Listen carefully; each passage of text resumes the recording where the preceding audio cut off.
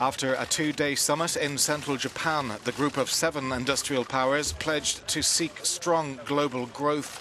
The G7 expressed concern over North Korea, Russia, and maritime disputes involving China.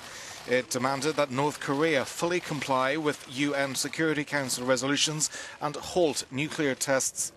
The G7 also called large scale immigration and migration a major challenge and vowed to increase global aid for the needs of refugees and displaced people. Referring to Britain's EU referendum, the G7 said a Brexit would be a serious risk to global growth. With the G7 adding its name to the list of international organisations that want Britain to remain inside the European Union, it's clear which way global policymakers want June's referendum to go. What's less clear, at least publicly, is what their plan B is if British voters do decide to walk away from the EU. James Franey, Euronews at the G7 summit.